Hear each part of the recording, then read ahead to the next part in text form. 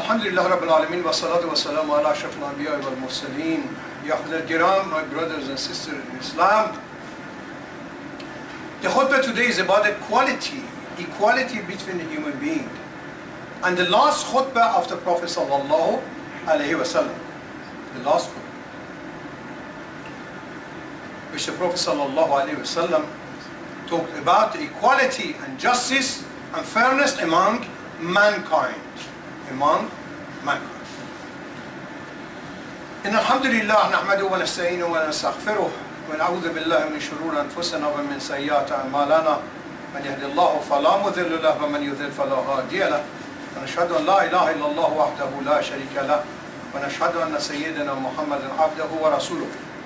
أما بعد قال الله تعالى يا أيها الذين آمنوا اتقوا الله حق تقاته ولا تموتن إلا وأنتم مسلمون. يقدر جرام الله سبحانه وتعالى the Holy Quran يا أيها الناس إنا خلقناكم من ذكر وأنثى وجعلناكم شعوبا وقبائل لتعارفوا إن أكرمكم إن الله أتقاكم إن الله عليم خبير meaning O mankind, behold, we have created you, Allah subhanahu wa ta'ala says, O mankind, behold, we have created you all out of the, a male and a female, and have made you into nations and tribes so that you might come to know one another. You might come to know one another. Can you come forward, please, brother? Fill the gap here. Verily, again Allah subhanahu wa ta'ala, they continues, Verily the noble of you, noblest of you in the sight of Allah, sight of God, is the one who is most deeply conscious of Allah subhanahu wa ta'ala. Behold Allah is all knowing and all aware. Alimun Khabir.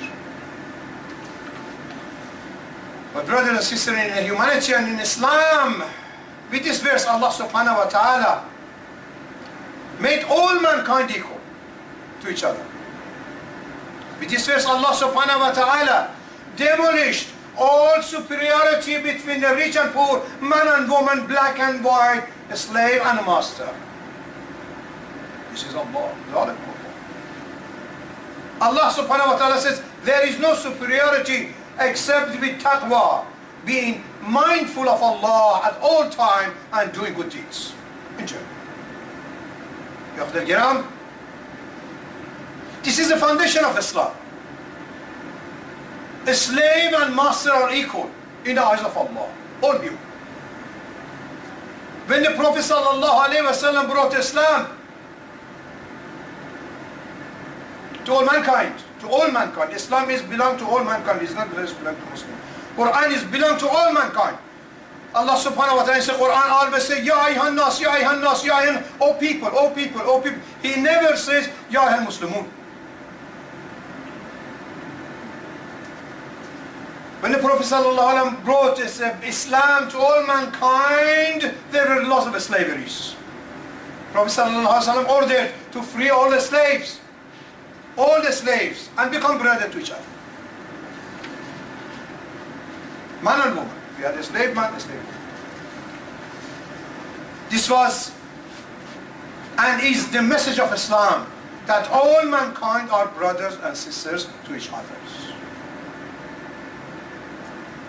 Even Prophet ﷺ himself had had a, had, had a slave called Bilal, Bilal al-Habashi, very important of course, and he, he freed him and, and after that the Bilal said, can I be your servant? Ya Rasulullah!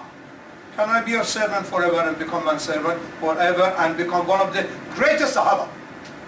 One of the greatest companion, the slave coming companion of the Prophet of Allah. All equal. And sisters, it is so clear. From the last khutbah of the Prophet sallallahu alaihi wasallam, Muhammad sallallahu alaihi wasallam showed that the greatness, the strength of the foundation of Islam.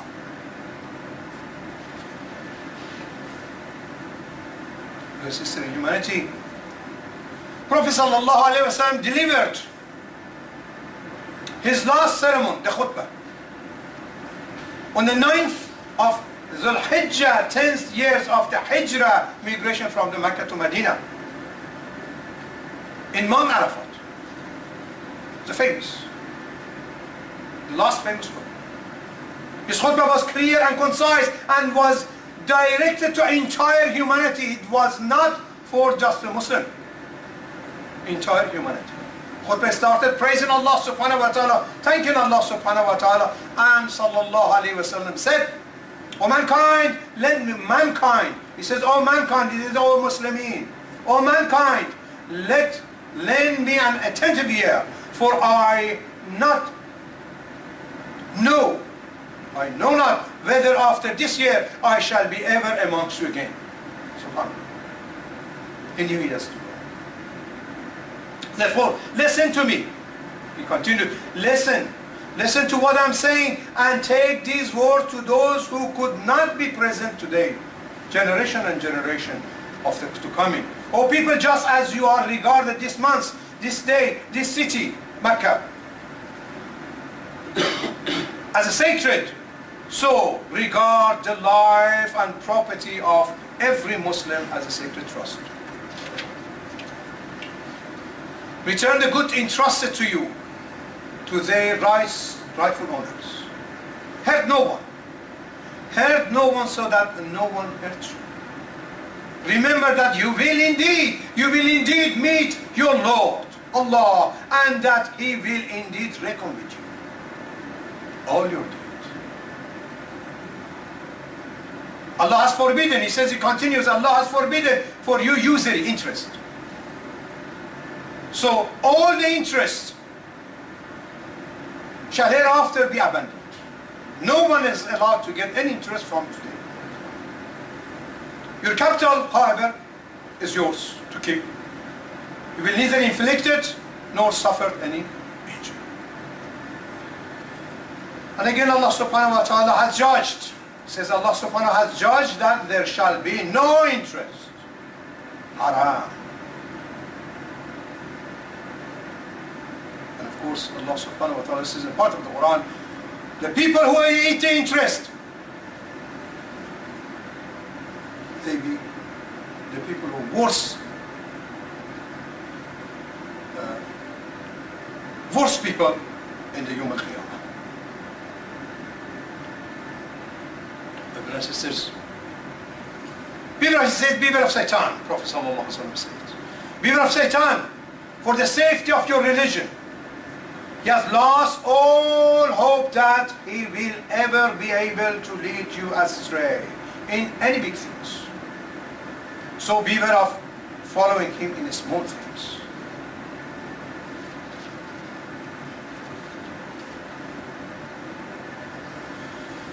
And the Prophet said, oh mankind, this is human right.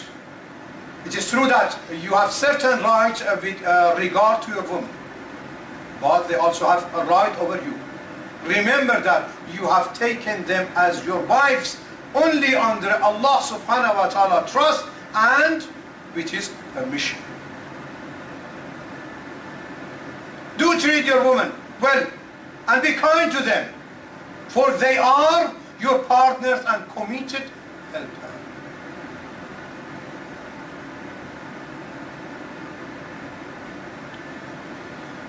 He continues, Prophet Sallallahu Alaihi Wasallam, O people, listen to me in earnest. Worship Allah. Say your five daily prayer, salah, fasting during the month of Ramadan. Give your wealth as zakat and perform hajj if you can. Perform hajj if you can. And the Prophet ﷺ continued, O mankind, mankind, all mankind is from Adam Alif And Arab has no superiority over non-Arab, and non-Arab has no superiority over Arab. Also white has no superiority over black, and black has no superiority over white. Except with piety, taqwa, and good action. يفضل الكرام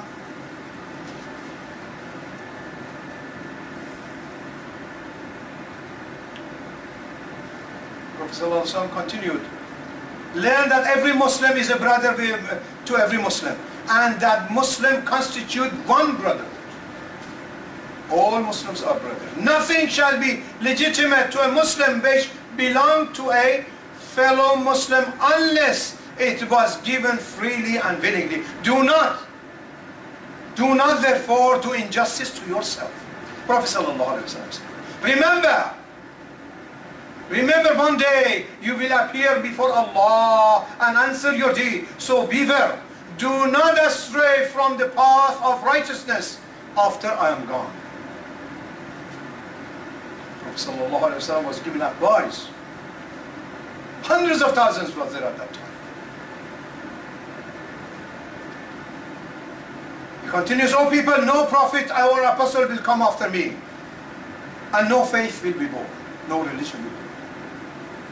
True religion. Reasonable. Therefore, O people, and understand the word I, I convey to you. I leave behind. I leave behind two things. The Quran and my Sunnah, my example. Anyone goes follow these, they will go no astray. Truly follow. All those who listen to me, Prophet wasallam said, all those who listen to me shall pass on my word to other and those other to other again, again and again, and may the last, may the last one understand my word better than those who listen to me because the knowledge goes more. This is what I'm saying, my brothers, in a thousand years or a hundred years or so, the people understand more than we understand. For that reason, and it's like a Quran, Quran open itself, different, different thousand years ago, the understanding was different, now it's different, and of course later going to be different. Brothers and sisters, Prophet sallallahu alaihi wasallam continued, Be my witness, Allah, O Allah, be my witness that I have conveyed your message to your people. Brothers and sisters, the ceremony took place near where the excellent verse revealed. This excellent verse revealed from Allah subhanahu wa ta'ala. اليوم اليوم أكملت لكم دينكم وأتممت عليكم نعمتي ورضيت لكم الإسلام دينا Today Allah subhanahu wa ta'ala said, Today I have perfected your religion, law for you, and have bestowed upon you the full measure of my blessing, and I have pleasure, I am, and I am pleased for you to have Islam as your بارك الله لي ولكم في القرآن الكريم ونفعني بإياكم بما فيه من الآيات والذكر الحكيم أقول قولي هذا وأستغفر الله العظيم لي ولكم ولسائر المسلمين والمسلمات والمؤمنين والمؤمنات واستغفروه واستغفروه من كل ذنب واستغفروه إنه هو غفور رحيم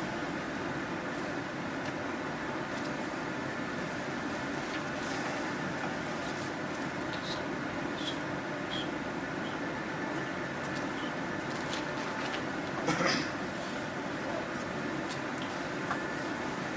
الحمد لله نحمده ونستعينه ونستحيي ونشكره ونعوذ بالله من شرور أنفسنا ومن سيئات أعمالنا. من يهد الله فلا مضل له ومن يضلل فلا هادي له. والصلاة والسلام على سيدنا محمد الصادق الوعد محمد الصادق الوعد الأمين وعلى أخوانه النبيين والمرسلين ورضي الله عن أمهات المؤمنين.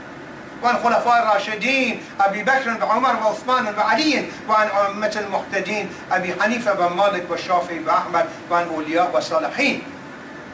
أما بعد عباد الله فإني أوصيكم ونفسي باتقوا الله العلي العظيم فاتقوه واعلموا أن الله أمركم بأمر عظيم. أمركم بالصلاة والسلام على النبي الكريم. فقال فقال إن الله وملائكته يصلون على النبي. يا أيها الذين آمنوا صلوا عليه وسلموا تسليما. اللهم صلى الله سيدنا محمد وعلى آل سيدنا محمد كما صليت على إبراهيم وعلى آل إبراهيم إنك حميد مجيد. اللهم بارك على محمد وعلى آل محمد كما باركت على إبراهيم وعلى آل إبراهيم في العالمين. إنك حميد مجيد. ويقول الله تعالى ويقول الله سبحانه وتعالى يا أيها الناس هذا شيء مهم. يا أيها الناس اتقوا ربكم. أن زلزلة الساعة شيء عظيم. يوم ترونها تذهل كل مرضة ما أرضت كل ذات حملا حملها. وترى الناس سكارى وترى الناس سكارى فما هم بسكارى فما هم بسكارى ولكن عذاب الله الشديد سبحانه اللهم ربنا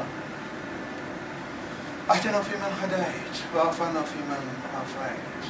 وتولنا فيمن توليت. وبارك لنا فيما أعطيت. وقنا شر ما غضيت إنك تغضي ولا يقضى اليك إنه لا يذل من واليت ولا يعز من عاديت. تباركت ربنا تباركت ربنا وتعاليت. لك الحمد على ما قضيت ولك الشكر على ما أعطيت.